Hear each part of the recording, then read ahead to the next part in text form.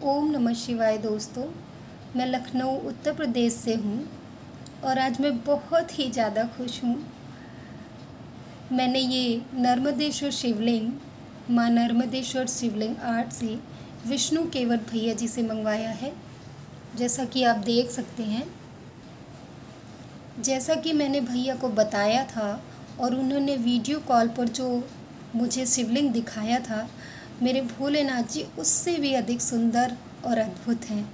आप जितने प्रेम भाव से, जितने श्रद्धा भाव से भोलेनाथ को अपने घर बुलाते हैं, भोलेनाथ जी उतने ही प्रेम भाव से आपके घर आते हैं।